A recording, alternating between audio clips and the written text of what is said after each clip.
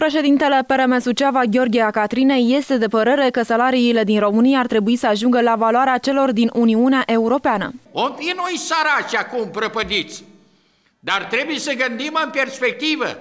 Ce viitor avem noi? Nu vedeți acum, acum scoate bolnavi din spitale și îi mută.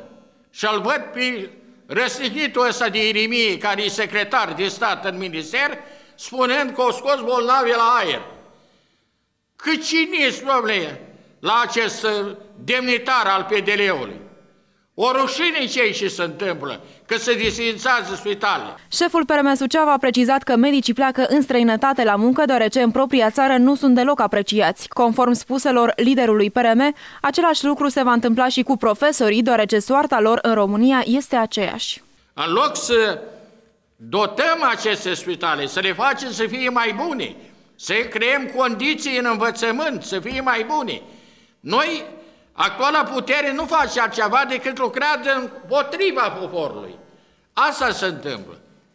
Eu cred că dacă forțele politice din opoziție o să fie unite și o să lasă la o parte orice fel de orgole, că sigur, le vor pregăti puterea și alte lovituri liderilor din opoziție. Sunt sigur asta.